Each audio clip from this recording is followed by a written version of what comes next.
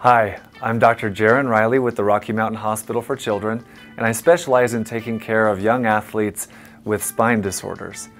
A lot of young athletes get very worried if they have persistent low back pain, especially with their chosen activities. We treat a lot of young football players, dancers, and gymnasts who have this problem. If you experience persistent back pain, or especially pain that radiates down into your legs, please give us a call so we can examine your back and get some x-rays to make sure that you don't have a condition called spondylolisthesis.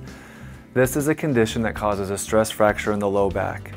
Luckily, this typically requires only non-surgical management such as bracing, the use of over-the-counter medications, and physical therapy.